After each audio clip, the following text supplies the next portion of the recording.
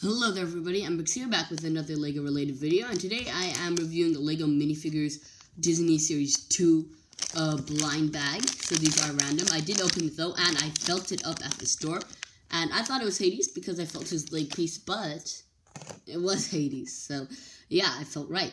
Uh, anyway, each minifigure in this series just comes with the CMF collectible minifigure stand.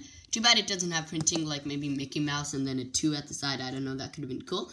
His accessories are two flame pieces, nothing special there, but look at how detailed this leg piece is. Yes, we gotta reattach that, but this leg piece is crazy. Like, down below, it has so many studs. It has that nice little uh, dark blue printing, nothing on the back, but it's really cool, and it is exclusive to this figure, and it does attach to the torso right there.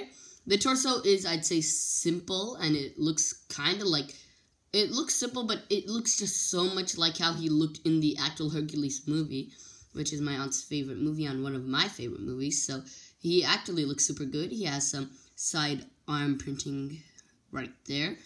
And then he has, again, those flame accessories. And then this nice headpiece, which is from the Green Goblin. The hairpiece or is not removable. It's glued onto there with some adhesive, though it looks super cool. Captures that nice blue, blue flame. And I think they captured his facial expression pretty well. But that's it for this video. Hope you liked it. If you did, please subscribe, leave a comment down below, and I'll talk to you again soon. Bye.